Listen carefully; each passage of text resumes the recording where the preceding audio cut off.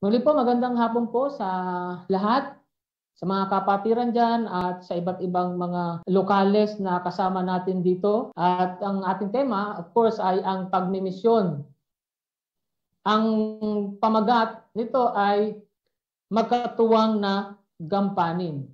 At bilang introduction, ay napabalitang ang NPA ay sumusuporta sa kandidatura at pangampanya ni Lenny Robredo. Ito po ay isang hindi marapat sa isang nanunungkulan, lalo tigit siya ang pangalawa sa pinakamataas na opisyalis ng ating bansa. Yamang ang mga NPA ay, ay nilagyan na sila ng trademark, ika nga, sila ay mga terorista. Kaya uh, hindi marahil na isip ni Lenny Robredo, well, hindi ko po siya uh, para siraan no po at wala naman tayo sa politika para gawin yon. Ito po ay as a matter of fact lamang na usapan. Eh, para sa kanya, marahil iniisip ko na hindi niya siguro na-realize na malaking pananagutan yon. Uh, accountability, accountable siya sa bagay na yon. At yan po ay napakahalaga sa bawat isa atin, hindi lang sa kanya. Yung salitang pananagutan na magkaroon tayo dapat ng sense of accountability and responsibility. At maging sa usapin ng relihiyon, sa spiritual, eh, meron rin tayong pananagutan. Kung paanong meron tayong pananagutan na nakadepende sa ating status na ginagalawan sa lipunan. At ito po ay makikita natin at ito po ang bibigyan ko ng pansin sa pagkakataong ito sa ating binasang mga teksto. At bilang background dito sa at pagpunado sa ating uh, binasa, eh, mas maaga po ay nagpadala ang Panginoong Yesus ng labindalawang apostol kasi ito ay sa Lucas 10 ay doon po sa nauna na kabanata ay sinugutin po niya yung labindalawang apostol at pagkatapos ay sinugo naman niya itong uh, pitumpu. Now, Uh, for the same reason, nagpadala siya ng malaking bilang doon sa southern regions kung saan siya naglalakbay. Yung labindalawang apostol, sila ay pinala, pinadala doon sa northern part of the country dahil ang gawain ay higit pa sa kaya niyang gawin na magsa sa maikling panahon na magagamit. Ang mga tagabiling ibinigay dito ng ating Panginoong Hesus sa pitumpu ay katulad ng ibinigay din niya doon sa labindalwa. Bilang uh, pagpapaalala, sa naunang misyon sa Hilaga, itinala ni Lucas ang pag-anunsyo ni Jesus ng paghatol sa ilang mga mamayan sa Hilaga na hindi naniniwala at gaya ng ating binasa doon sa mga talatang 13 hanggang 16. By the way, uh, bigyan ko po kayo ng background tungkol kay Lucas. Eh, ito pong si Lucas, hindi naman siya kabilang sa labindalawang apostol. Siya po ay kompanyon ni Apostol Pablo. At nakilala natin siya bilang the beloved physicians doon sa Colossians chapter 4. At simulat siya para kay Teopilo. Uh, siya lang po yung hindi naman siya kabilang sa mga apostol pero uh, siya nabigyan ng pribilehiyo ng Panginoon na sumulat at hindi lang itong uh, Lucas kundi yung sequel niya yung sa aklat ng gawa at alam naman natin na bawat manunulat ay may mga kanya-kanyang objective sila sa kanilang pagsulat. At mapapansin natin na sa kanyang sulat ay eh, pinakita niya yung katuparan ng uh, sinabi mismo ng ating Panginoon sa Kristo na siya'y dumating upang hanapin at iligtas ang mga nangawala. At yun ding propesiya tungkol sa mga hentil, eh, ipinakita sa sulat na nagkaroon ng katuparan. Bagay marahil ay si Lucas ay siya isang hintil, hindi naman siya isang Hudyo. At ito isang pribileyo na siya kabilang doon pala sa propesiya ng kaligtasan na sinasabi sa lumang tipan. At mapapansin din natin sa mga sulat ni Lucas na nagbibigay siya ng importansya doon sa mga mababa, mga mahina. Yung mga tao na itinuturing ng mababa sa lipunan, eh sila yung mga tinawag, kinakandili, pinapahalagahan ng ating Panginoon. Na-highlight niya yan, maging uh, siya rin yung bumabanggit ng mga pangalan ng mga ilang babae, sinasabi niya sa mga ministeryo, mga naglilingkod ng mga babae, at marami siyang sinulat na may patungkol sa paggagamot ng ating Panginoon Kristo at yung mga uh, paggamit ng ilang mga kaparaanan sa paggamot ay uh, sinulat din ni Lucas na hindi matatagpuan sa ibang mga ibang hilista.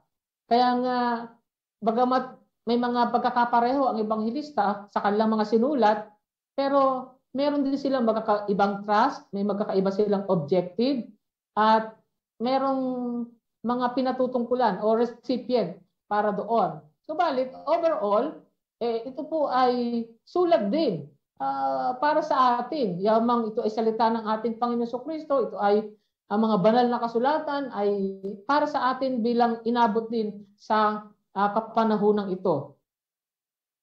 Naniniwala tayo na ang Panginoon sa kanyang pagsalita ng, at saka sa plano ng kanyang kaligtasan, ito hindi pa tapos at umabot sa atin kaya tayo nagpapasalamat at naabutan tayo ng kanyang pagliligtas. Kaya naman, at tayo rin ay kabahagi doon sa kung paano inatasan ang mga mananampalataya, ang mga lokal na iglesia sa uh, paghahayo o sa pagmimisyon. Si Lucas ay nagpatuloy kaagad upang itala ang tagumpay ng pitumpu kahit na maraming buwan ang lumipas bago sila bumalik at nakita ng Panginoong Yesus ang tagumpay na ito bilang isang tagumpay laban kay Satanas at isang garantya ng kanyang pangwakas na pagkapuksa, itong pagsulong ng kaharian ng Diyos. Subalit ang mga lingkod ng Diyos ay dapat laging tandaan na ang kanilang pinakamalaking dahilan para sa kanilang pagpuri sa Panginoong Diyos, 'di ba? Yung pitumpu, sila ay nagpuri sa Panginoon, at uh, sapagkat uh, ang mga demonyo sumusunod sa kanila, sila nakapagpapagaling, nagtagumpay sila. Eh ang pinakamalaking dahilan para sa kanilang pagpuray, hindi kung ano ang kanilang ginawa para sa Diyos. Ngunit, kung ano ang ginawa ng Diyos para sa kanila. Kung paanong kumikilos ang Diyos as kasama nila sa gawain ito. Sa, uh, mababasa natin yan sa 17 hanggang 20. Ngayon, Pagdating naman doon sa, may sinabi ito, Lord of the Harvest. Uh, at sabi, eh, manalangin doon sa uh, Lord of the Harvest na magpadala. Ay malinaw dito na yung tinutukoy na Lord of the Harvest ay mismo ang Panginoong Hesus rin bilang siyang Diyos at siya nga yung nagsugo sa kanila. So, tinutukoy ng Diyos ang oras ng pag-ani. Siya nakakaalam nito. Siya ang bahala dito. Siya ang nagdedetermina kung kailan. At ang Diyos din ang nagtatalaga ng mga manggagawa para sa pag-aani. Ang Diyos ang nagbabantay para sa tagumpay ng pag-aani. Pag sinabi natin pag-aani, eh wag nating isipin na ito'y literal na mga uh, pananim, kundi ito ay figuratibo, mga taong inahalin tulad sa pananim na dinala sa kamalig. Sa Diyos na rapat din ang handog ng pasalamat ng ani. So alam po ng Panginoon Yesus na ang panahon ay maikli bago ang kanyang pagpapako sa krus. At marami pa rin mga nayon ang hindi pa uh, nakarinig ng kanyang mensahe. Kaya kailangan ni Jesus ng tulong na mailabas ang mensahe at bumaling siya sa mas malaking grupo ng kanyang mga disipulo. Malaki ang anihin. Yun ang sinabi ng Panginoon nung panahon na yun. At totoo pa rin ito ngayon. Malaki ang anihin. Dahil bagamat lumaganap ang Kristyanismo sa buong mundo, ay marami pa rin tao na sa bawat henerasyon na, sumisi, na isinisilang, lumalaki sila, subalit lumalaki sila sa mga maling relihiyon sa mga maling paniniwala. Marami pa rin hanggang ngayon ang mga atheist. And even among the Christians, ay kahit na sila ay lumaki sa uh, pamilyang Kristiyano, ay nangangailangan pa rin ng ebanghelyo dahil nagubon sila, lalo mga kabataan, sa mga iba't ibang mga alok ng uh, sanlibutan ito. Ngayon, kung naniniwala tayo na maikling panahon na lamang bago mamalik ang ating Panginoong Yesus, eh, dapat nating gawing sariling atin ang mga prinsipyo ng atas ng ating Panginoong Yesus doon sa pitumpu at maging sa labindalawa. So ang kaligtasan ay para sa lahat ng uri ng tao, sa lahat ng uri ng panahon. Kaya naman, despite of being beset with the difficulties and the hardships in this life, missionary works is continued by the Church of Christ. Sa kabila ng mga paghihirap at kahirapan sa buhay na ito, ang mga gawaing misyonero ay ipinagpapatuloy ng simbahan ni Kristo. So ano po yung masasabi natin tungkol sa pamagat ng mensahe ito?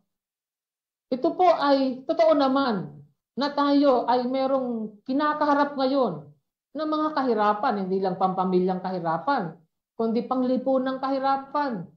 Nandyan ang mga iba't ibang banta. Eh, naranasan natin ang pandemya. Subalit ito pa yung paparating na banta ng gera. At sinasabi ng ilan na baka daw ito yung panimula ng uh, Third World War.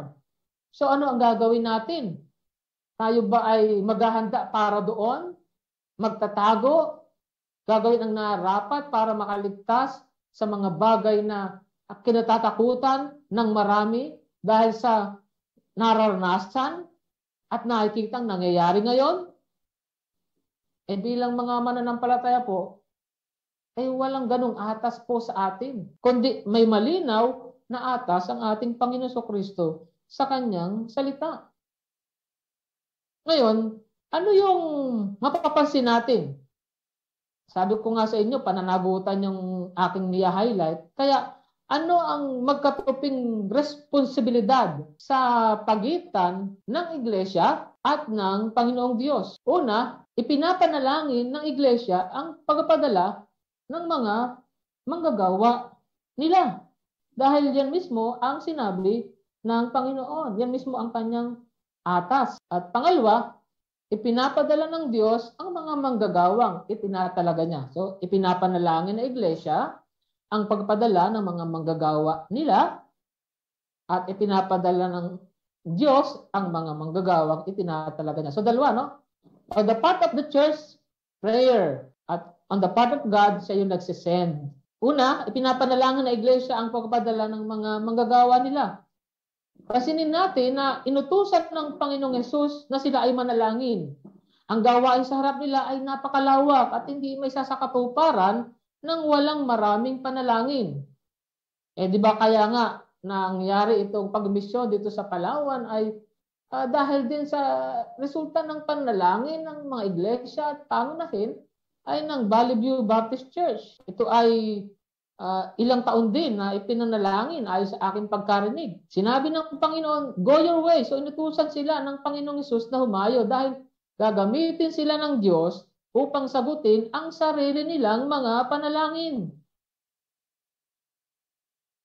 Napakaraming nakakaranas ng paghihirap ngayon at madalas ito pa ang ginagamit ng Diyos para hanapin siya ng mga tao. Kaya timing po ito, napapanahon kaya ang mission works na iglesyang ito ay pangunahing para sa mga taong iyon. And we thank the Lord for that privilege to be of use in God's business. At ang nais ko iparating mga kapatid ay napakahalaga sa Diyos ang gawain ng pagmisyon. Kaya ipinag-uutos niya ang mapagmalasakit na panalangin. Kung mapansin ninyo, sabi ng Panginoon, no, pag may bumati sa inyo, huwag niyong batiin. Hindi naman para sila sabihin maging snobbish sila. Hindi po.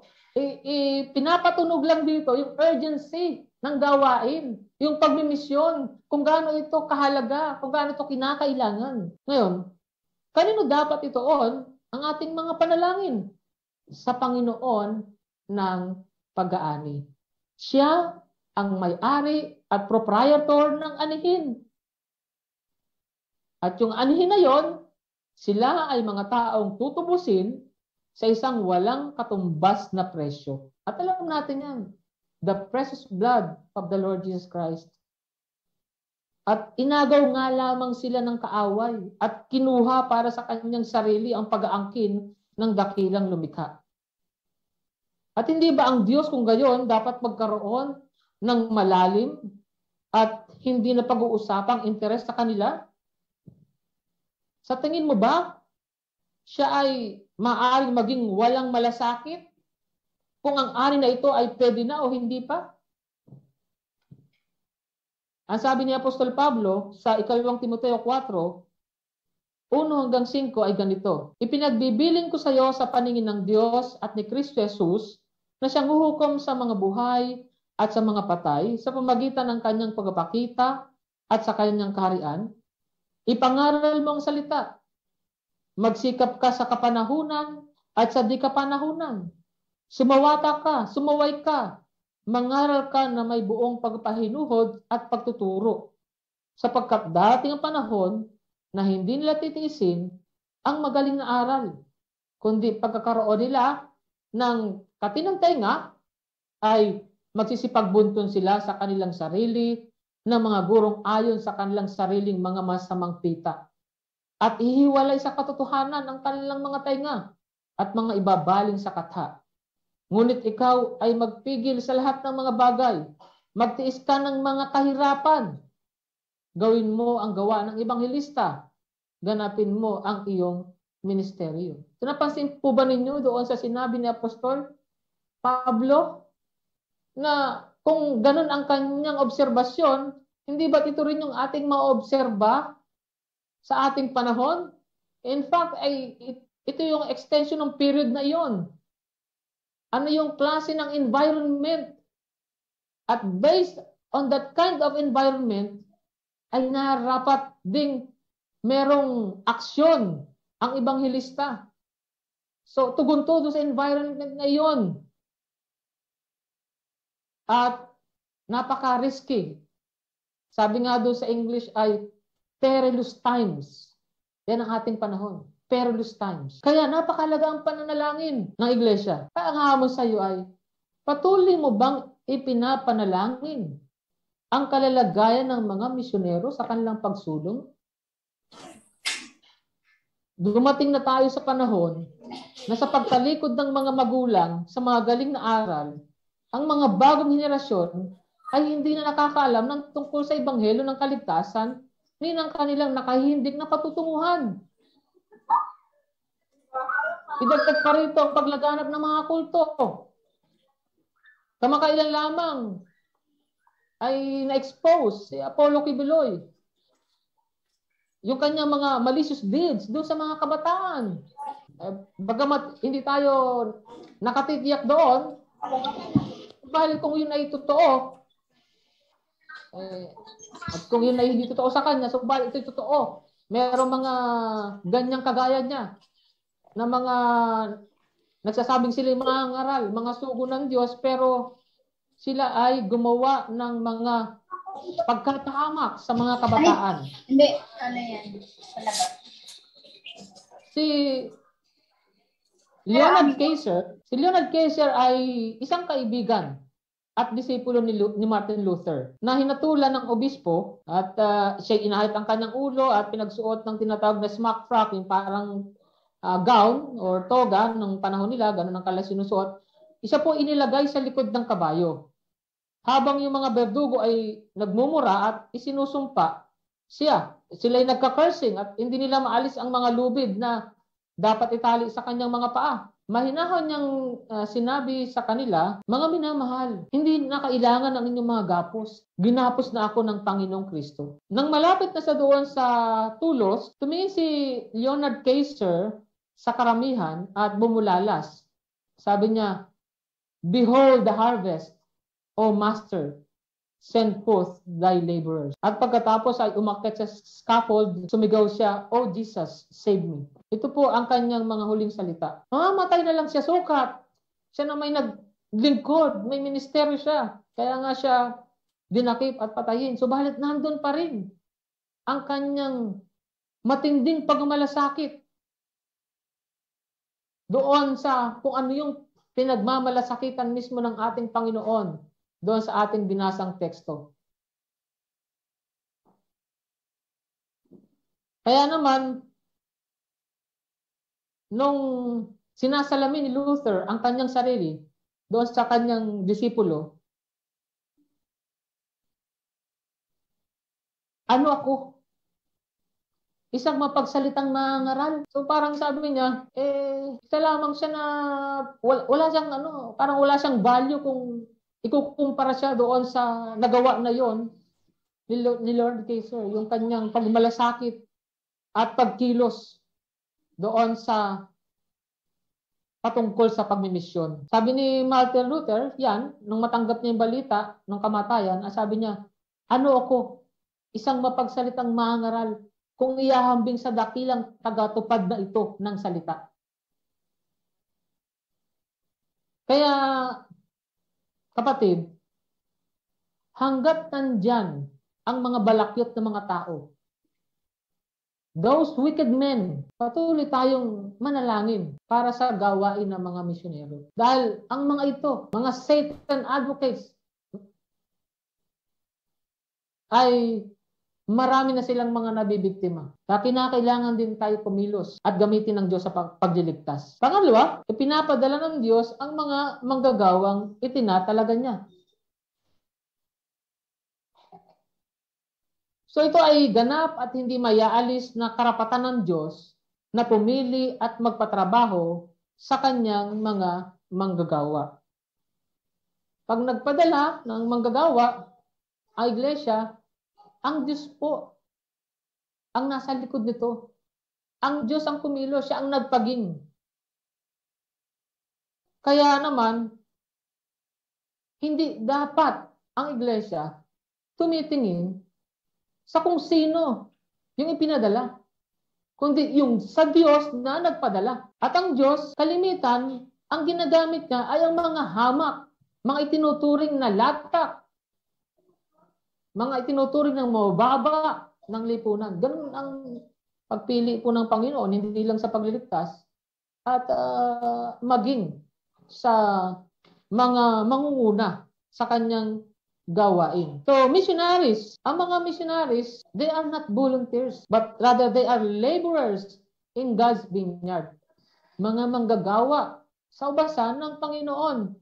Kaya dapat mapansin natin yung differences between uh, volunteers and laborers. Eh, kanina lamang, ito yung naging tampok din ng aming uh, Sunday, school, Sunday school, yung ano ba kapag uh, volunteer, alam mo, kung yung pastor uh, volunteer, eh, meron siyang tendency na maging arrogant.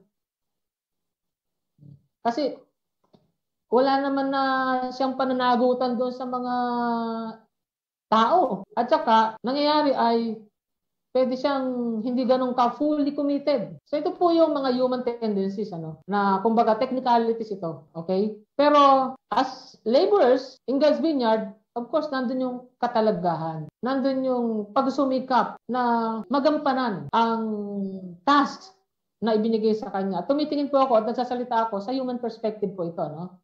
Sa human viewpoint. Dahil nasabi ko naman sa inyo na sa spiritual scheme, eh, ang Panginoon Diyos ang kumikilos.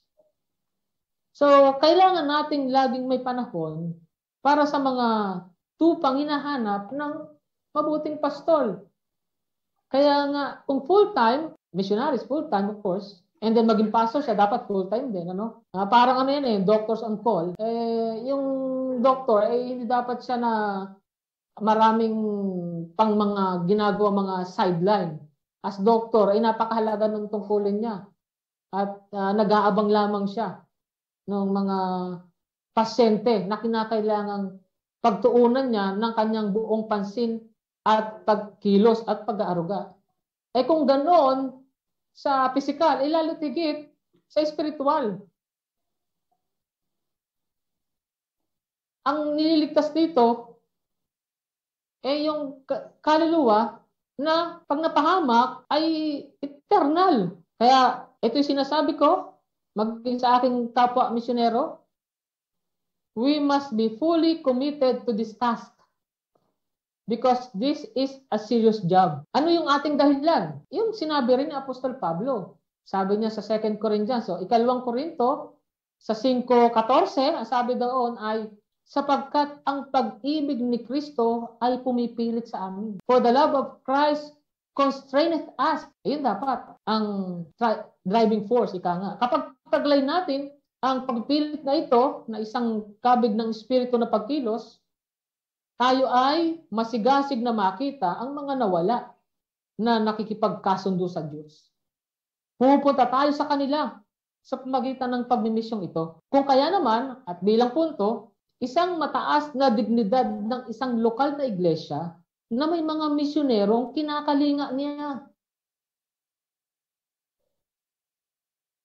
Puntahan natin yung karanasan ni Apostol Pablo. Sabi niya sa 2 Corinthians chapter 12, verse 13, For what is it in which you were inferior to other churches, except it be that I myself was not burdensome to you? Forgive me this wrong. So ang background niyan, eh yung nasa 1 Corinthians chapter 9. Pero ang tagurin niya sa mga taga-Korinto is inferior to the other churches. You see, ang lokal na iglesyang Korinto, kaya sa tinaguraan ganyan, inferior church, because they were deprived of the opportunity to support the missionaries.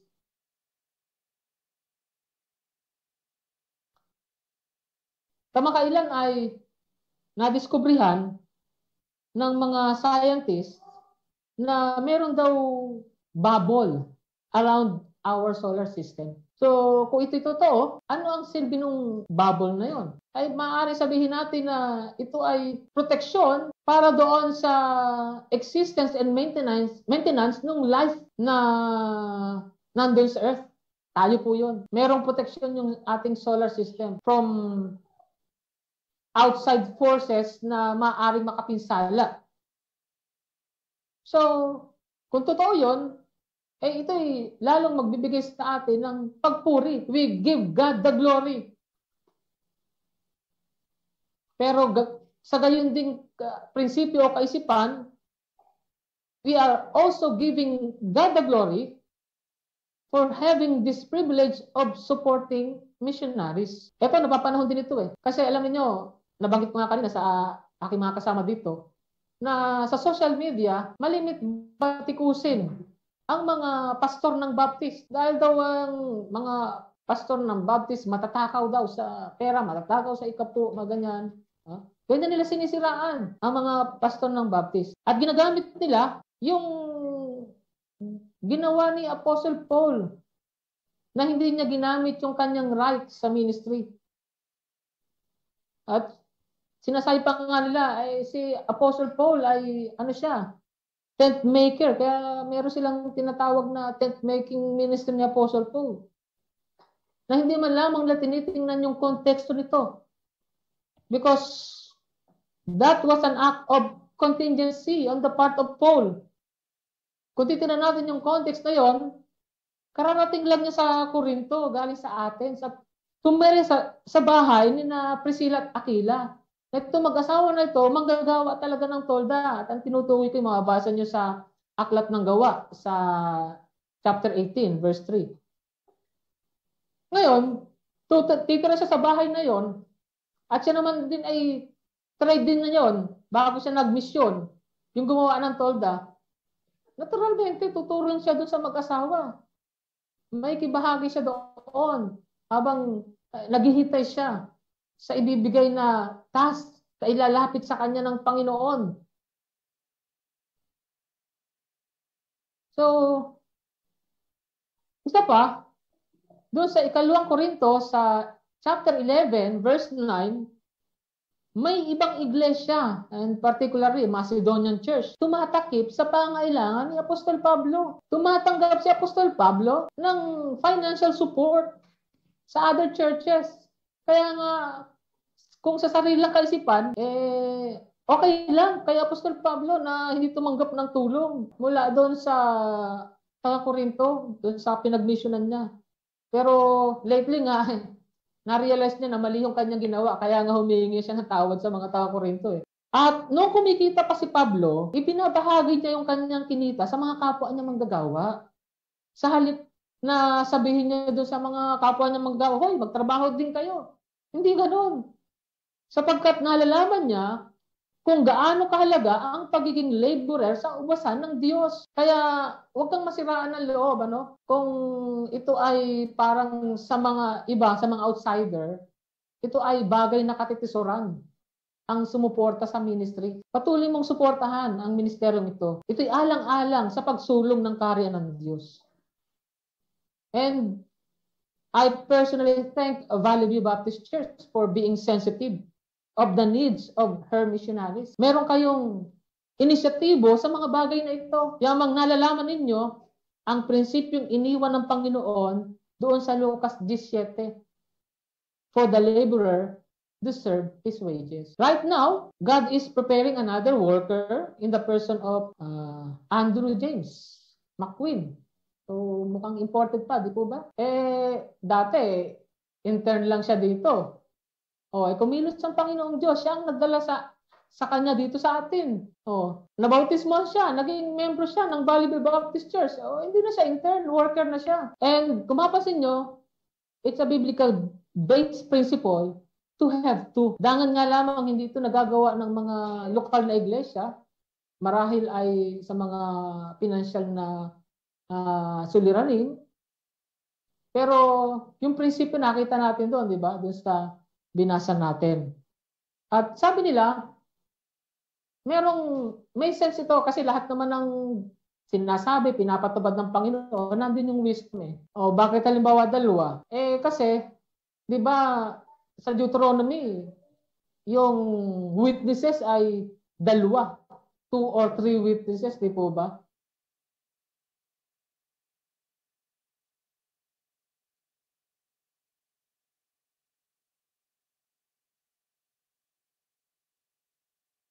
Magkatuwang. Magkatuwang ang bawat isa, nagtutulungan ng bawat isa. And kahit si Apostle Paul, may mga kasama siya sa pag-ministeryo niya, sa pag-mission niya. Hindi naman siya nagsusolo.